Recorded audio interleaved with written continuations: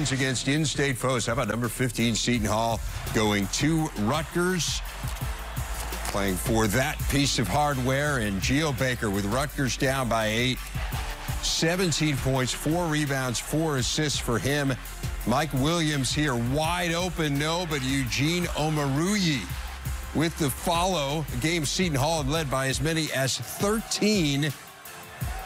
Uh, Khadeen Carrington, no. Angel Delgado, the putback. The Hall up by two.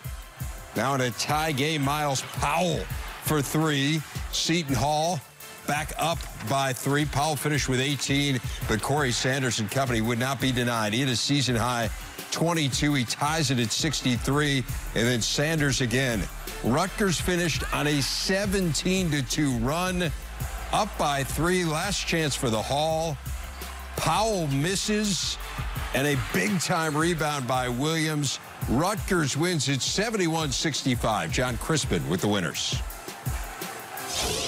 Coach, just give me a sense of the feeling. It's been a couple years of hard work. How good does it feel to pull this one out? You know what? Seton Hall's really good team, well coached. They got really good players. Our guys had great plays down the stretch. How about the RAC today? Can you beat it? Our fans came out. Students were awesome. Corey made great plays down the stretch, made great decisions. I'm happy for our guys. They've been battling. We've been in games like this, and I'm just pleased. I hope they soak it in. Corey, you've been through a lot in your time here. How big is this game, a rivalry game, getting that trophy back in, in Rutgers? Man, it's huge to bring it back to this crowd, bring it back to our fans. You know, um, you know they're so faithful to us. You know, it was only right for us to come out and you know take the crown back. You know, I think we did a fantastic job. Seton Hall's a good team. Got to give it to them, but we're the better team today.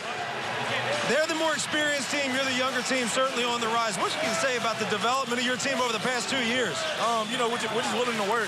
Um, you know, Coach Coach Pikiell came in, everybody bought into his system, and you know, we're trying to get it first on the defensive end. So, you know, um, it's hard, it's hard to talk to all these fans here, man. You know, this was for them, man. So, you know, that's all I got to say.